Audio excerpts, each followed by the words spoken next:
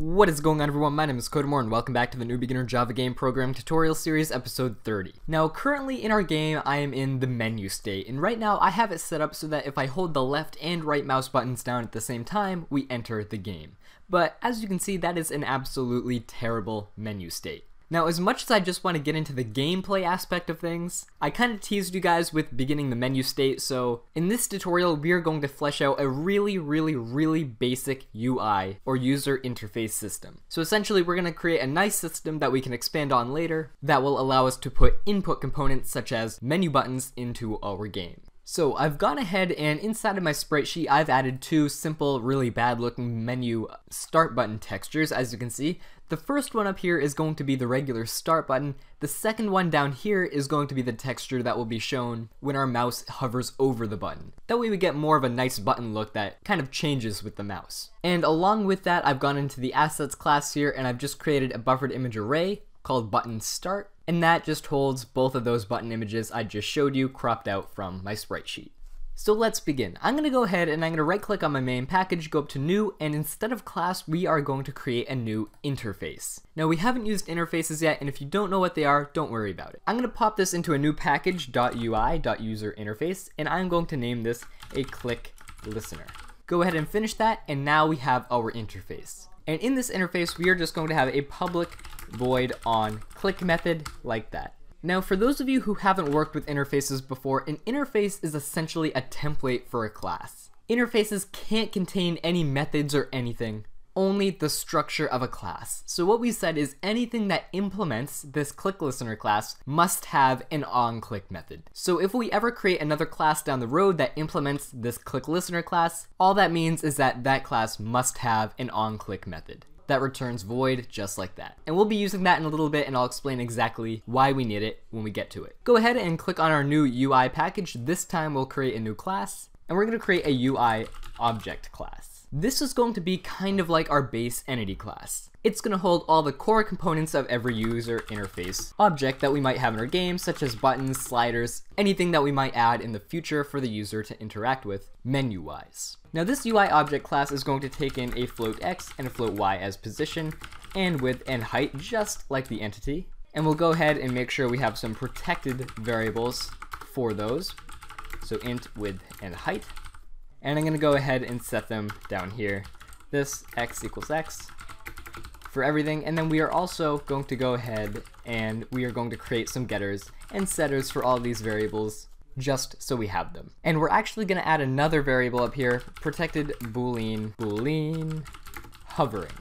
And we're going to set that equal to false to begin with, and you'll see what that's used for in a little bit. And I'm going to go ahead and I'm going to generate getters and setters for everything here, and I'm just going to plop that into our class here and make a comment getters and setters.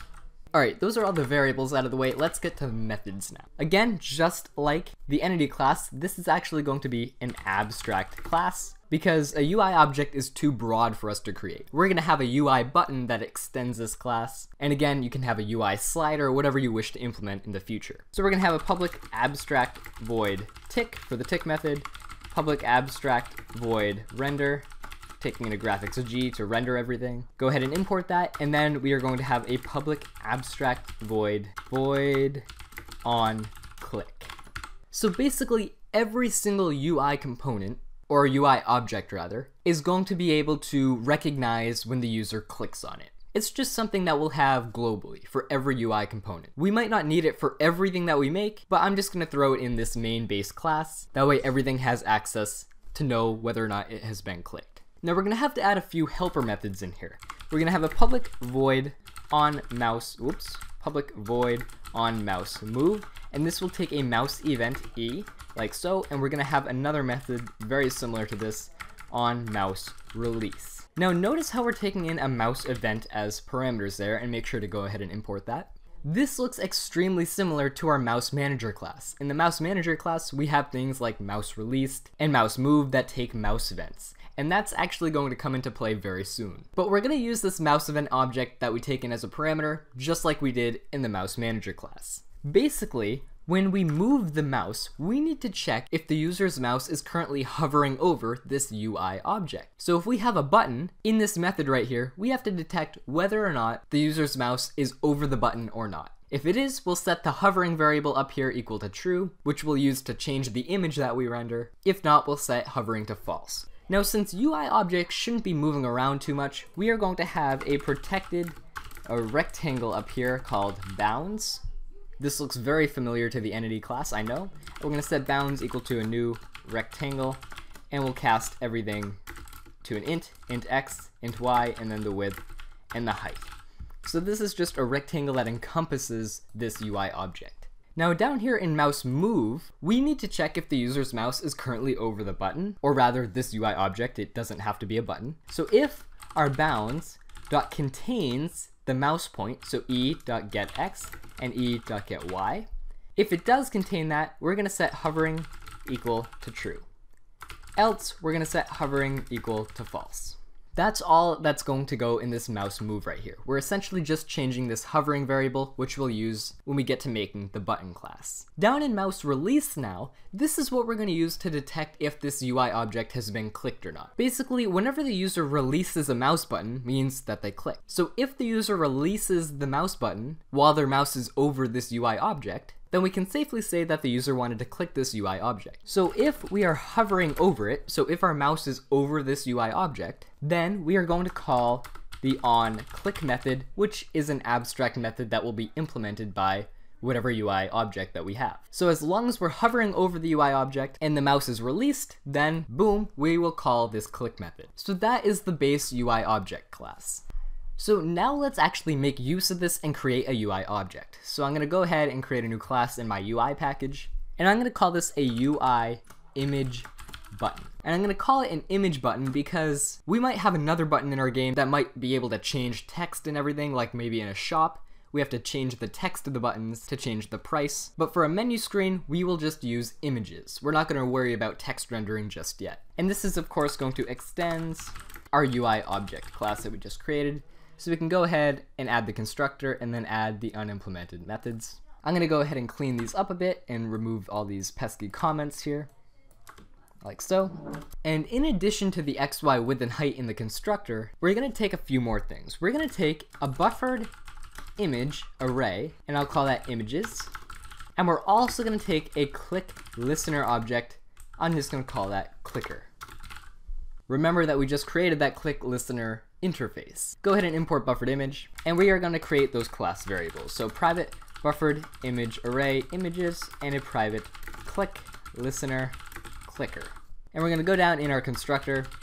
You guys know the drill. This dot images equals images, and the same thing for clicker. So basically, the images array at index 0 will be the standing regular image of the button. But the images array at index 1 is going to be the image that we display when the user is hovering over it. That's why I had two button textures in my sprite sheet. Anyways, we're not going to need to do anything in this tick method here. We should be able to leave that blank for this UI image button. And in the render method here, we're going to say if we are hovering, so if the user is hovering over, then we're going to do g.drawImage, and we're going to draw images at 1, because I'm going to decide that the index at 1 is going to be the hovered over image of the button.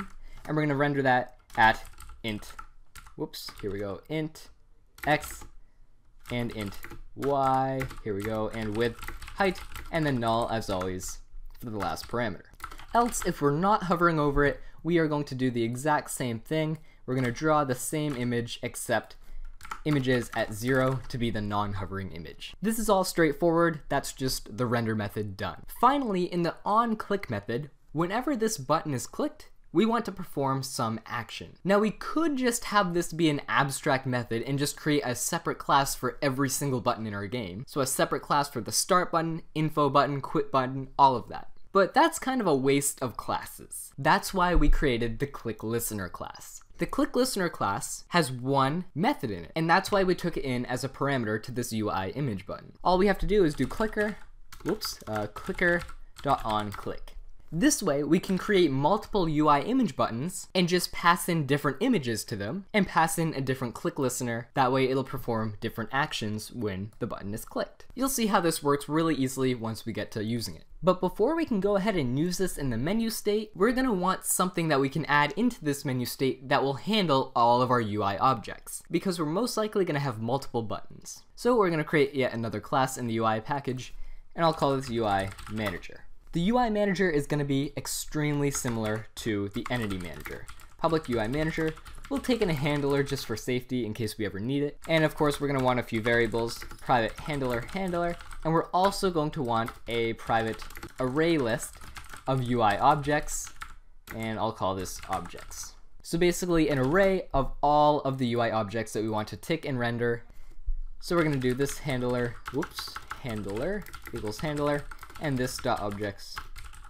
I suppose I can just say objects equals a new array list of UI object, like so. This will work extremely similar to the entity manager class, and the array list is going to work in an extremely similar way. So we're going to have a, a tick method, of course, for this manager, as well as a render method, like so. But in addition to these two methods, we have in our UI objects an on mouse move and on mouse release, we're going to add those methods to the UI manager as well. Public void, whoops, public void on mouse move, and of course that'll take in a mouse event e, and public void on mouse release, taking in a mouse event e as well. That's the main part of this UI manager class. Go ahead and import mouse event. And we're to want a few more methods as well, just so that we can add UI objects and remove them when we want. So public void add object, and we'll just take in a UI object called O, and we'll do objects dot add O. We'll just add it into the array list. And we'll do the same thing to remove one. Public void remove object, taking in a UI object O, and objects dot remove O. So now in the tick render, mouse move, and mouse release, we're gonna do the exact same thing. For UI object O in objects. So for every single UI object in our objects array list, we're just gonna go and tick them. And I'm gonna go ahead and copy this. We're gonna tick them, we're gonna render them, and we're also gonna call the mouse move, mouse move methods, and we are going to call the on mouse release methods if it ever happens, release, like so. And that is essentially the very basics of a UI manager class. Great.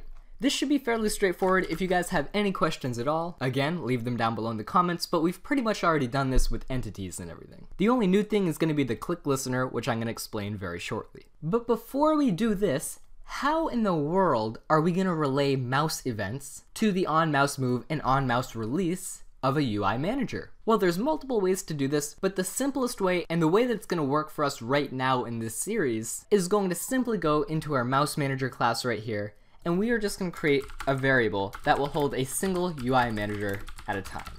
Again, we're probably going to change this in the future, but for right now, we'll just hold a UI manager in this mouse manager.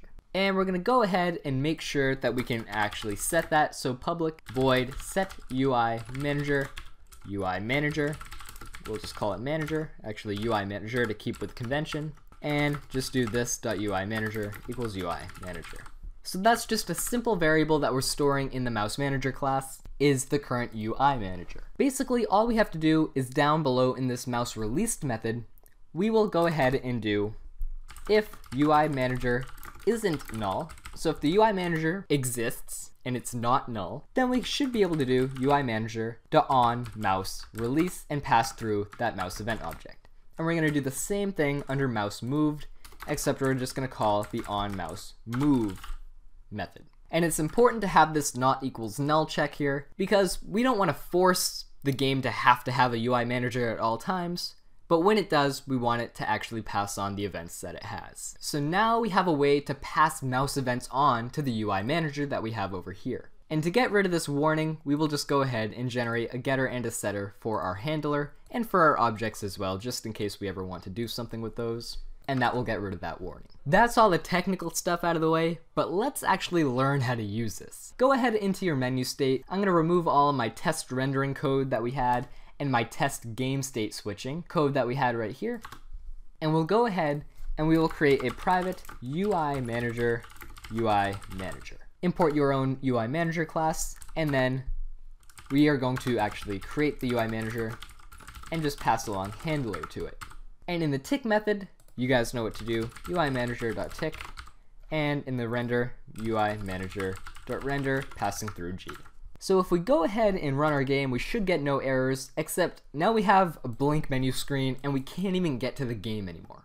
And that's because, well, we haven't added a UI button or UI object to the manager to actually run. So I'm going to show you just how easy it is to use our system to add a UI object. Right now we only have one UI object, which is the UI image button that we created. So we're going to go ahead and do UI manager.add object, a new UI image button, like so.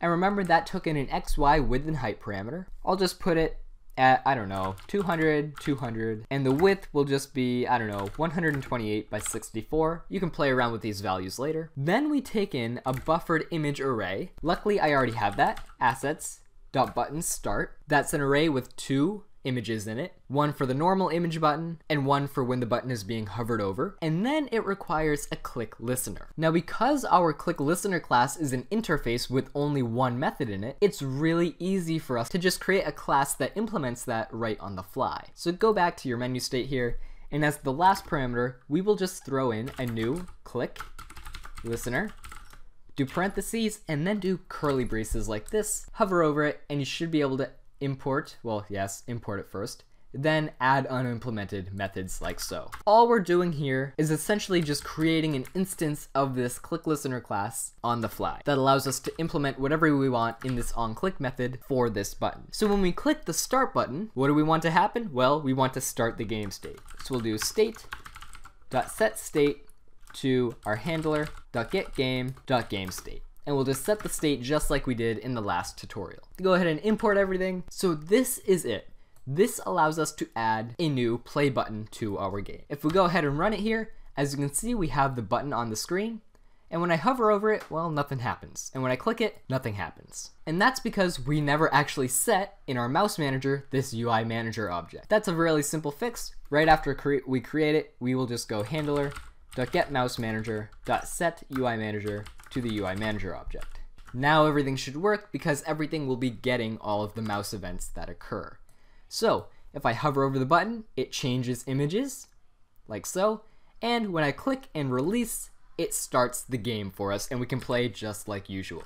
That's it guys, that's a very basic UI system. Now there is one thing I forgot to mention, and that is, we set the UI manager in the mouse manager with this line right here. But that means when we switch states to the game state, this UI manager here in the menu state will still be getting mouse events as they occur. That means the user is still able to click the play button, even though he can't see it once you're in the game state. Now we can handle that automatically if we change the way that we handle UI managers in the mouse manager class right here, but to keep it simple, all we have to do is whenever we switch states, just make sure that we unset the UI manager. So handler.get mouse manager set UI manager and just set it to null. Set it to nothing. That way all the buttons in the menu state no longer get any UI input. So that's kind of one flaw of our design right now is having to set and unset the UI manager properly. But once we get into a more advanced, somewhat, UI manager, which we will in the future, it'll be handled much better, I promise you. That's about it guys, I challenge you to go out, make some more UI objects instead of just a UI image button if you want to, just as a little challenge. Now I will go through really quickly and explain exactly what's happening here. So in the menu state we have a UI manager, and then we set in the mouse manager the UI manager object to that UI manager. So whenever the mouse manager receives a mouse released event or a mouse moved event, it will simply take the current UI manager that is set, in our case, the one that we created in the menu state, and it will pass along to it the on mouse release and on mouse move events. So for instance, if the user releases the mouse, it will call the on mouse release event of the UI manager.